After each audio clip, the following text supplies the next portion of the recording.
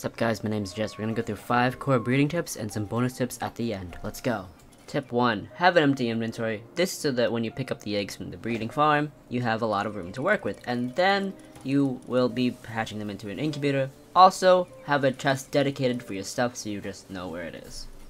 Tip 2. Place the PAL that you plan to ascend into your PAL team. This way you can easily access it instead of having to go through all of your pals, blah blah blah.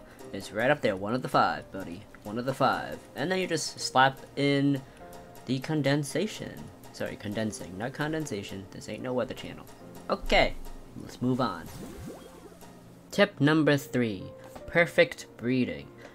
When you want to have as high of a chance for perfect breeding possible, you need to have the same identical passives. They have to be identical. It doesn't matter if they're in different places. They have to be identical. Male and female must have the identical passives to uh, ensure the highest chance at breeding. I've I've I went from I think one in like 30 eggs of having not the identical passives um, to having about I think five eggs out of 30 eggs having the perfect breeding passives or per perfect uh, combat or perfect workflow passives whatever. Perfect speed passive perfect mounting passives and whatnot. Tip number four you want to have an efficient workflow.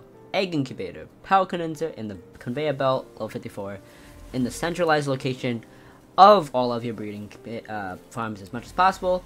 Then slap the eggs in there. See if you get a good pal with good passives. Go to the conveyor belt, lock the bad boy, so that you don't have to go straight down into your annoying pal box to find him. Okay? It's the same exact layout. And then label him, lock him, perfect work, or whatever. This way, you won't accidentally pop him into the conveyor belt or accidentally ascend him. Okay? Now that you have him locked, you can't put him in. You cannot put him in. You can put everyone else in, but you can't put the locked ones in. Okay, this is this is core to the breeding process. Tip 5. Storage chests. This is imperative for when you're power breeding. Power breeding is known as when you slot in pals with philanthropists so that they get additional 200% breeding speed. But then, uh, here's the deal, if you're running 10 farms, you gotta pop these bad boys into these chests, okay? You really need to, because you go from farm to farm to farm to farm, you have all these eggs in your inventory and they need to go somewhere, right? You can't just, because the hatching speed is slower than collecting multiple eggs from multiple farms and whatnot, so yeah, just start putting them in the chest and make your life easier.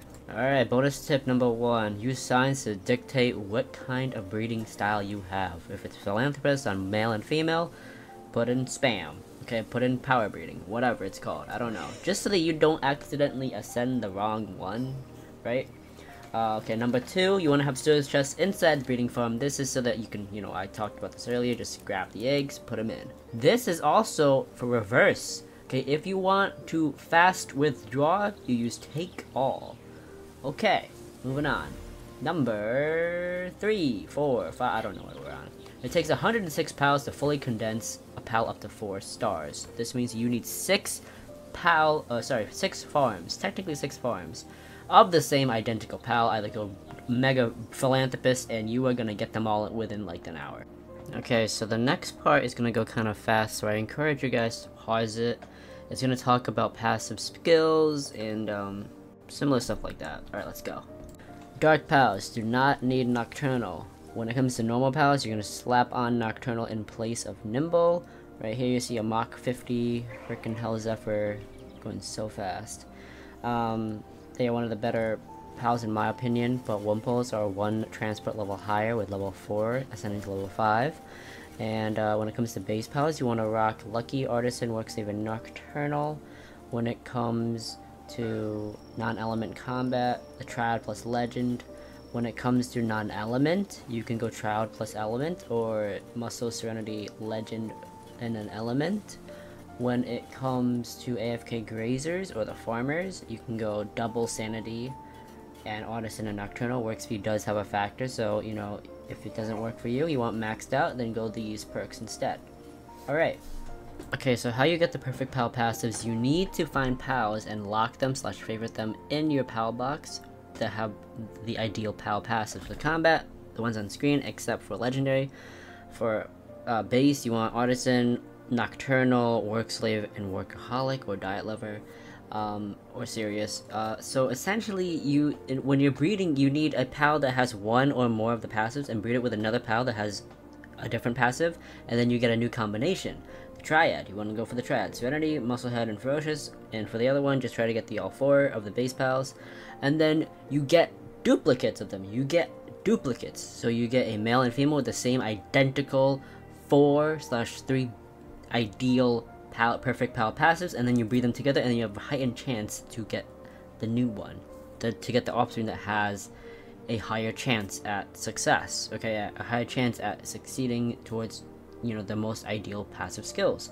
So with that being said, all you gotta do is just breed, breed, breed, breed, breed until you get the perfect PAL passives on the breedable uh, PALs that you can then use for further breeding. Okay, so I hope you guys have found this guide helpful to you. If you did, please leave a like, comment, subscribe. Look forward to seeing you guys in the next one. Peace!